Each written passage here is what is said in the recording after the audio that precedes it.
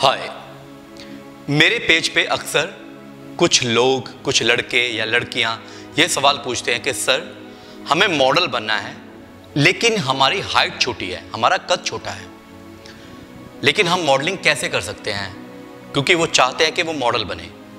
बड़ी क्लियर बात है, समझने की बात है, सिर्फ़ छोटा कद होने से ये ज़रूरी नहीं कि आप मॉडल नहीं बन सकते।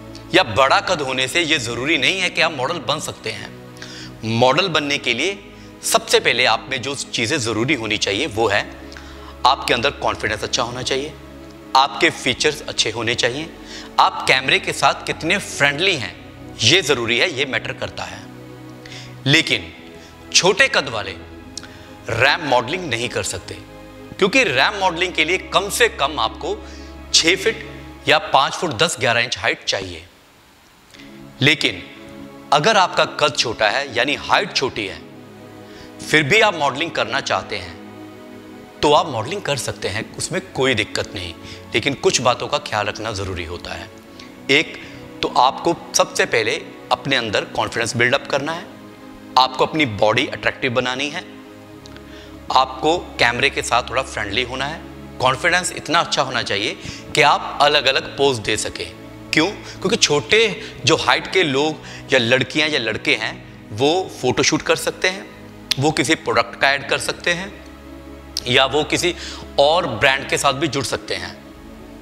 लेकिन वो रैम मॉडलिंग नहीं कर सकते। थोड़ा मुश्किल हो जाएगा। हाँ अगर आप मॉडलिंग करते करते फ़ेमस हो जाते हो तो आप एक सेलिब्रिटी बन जाते हो तो तब हाइट मैटर नहीं करती, आपकी ब्रांड वैल्यू आपका फेस वैल्यू वो मैटर करता है। आमिर खान, सलमान खान, शाहरुख खान, और भी बहुत सारे चेहरे हैं जिनके कद छोटे हैं, और भी बहुत सारी सेलिब्रिटी हैं जिनकी कद छोटी है, लेकिन वो रैम मॉडलिंग करती हैं, या वो रैम मॉडलिंग करते हैं। क्यों? क्योंकि उनका फेस नोन है। लेकिन पहला स्टेप ये होता है कि आपको सबसे पहले अपनी फेस वैल्यू बनानी है। मॉडलिंग के बाद आपको क्या करना चाहिए? आपको एक अच्छे एक्टिंग स्कूल से एक्टिंग सीखनी चाहिए। उनसे टिप्स लेने चाहिए। अपने आप पे वर्कआउट करना चाहिए। जिम ज्वाइन करना चाहिए। अपने फेस की तरफ़ ध्यान देना चाहिए। अपने बालों की तरफ़ ध्यान देना चाहिए। लुक की तरफ़ ध्यान देना चाहिए। कॉन्फिडेंस बिल्डअप करना चाहिए। बहुत सारी बातें हैं जिससे आप एक अच्छे मॉडल बन सकते हो। प्रॉपर ट्रेनिंग लेके प्रॉपर गाइडलाइन लेके।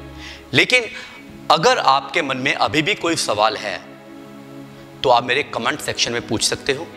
अगर आपको मेरा ये टॉपिक अच्छा लगे तो प्लीज़ आप, मेरा चैनल चैनल सब्सक्राइब कीजिएगा।